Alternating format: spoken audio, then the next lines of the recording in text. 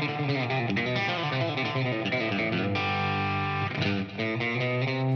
Koji is a really unique compressor because compressors can be complicated or they can be a little too simple. I like the Koji because it's just right. If you really want to get into something and you really want to geek out and you know exactly how a compressor works, you can do all that stuff, but at the end of the day, you just kind of set it the way you think it might sound good, and then the point of grace about this pedal is in the mix knob. Okay, so I kind of turn it up if I need a little extra help, and then if you want it to be a little more open, you can turn that down. So that makes the use of the pedal much, much, much easier.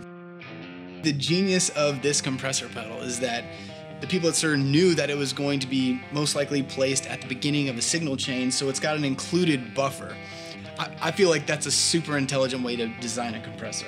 The other really cool thing I like about it is the LED. It's just, it's good to have a visual representation of when it's actually like squishing down on it and when it's really, really squishing down on it and it's turning red. The voice switch here, which is quite useful, I kind of click through this one, but somehow when it's going towards the right, that's the one that kind of makes me raise an eyebrow and go, okay, I really dig this.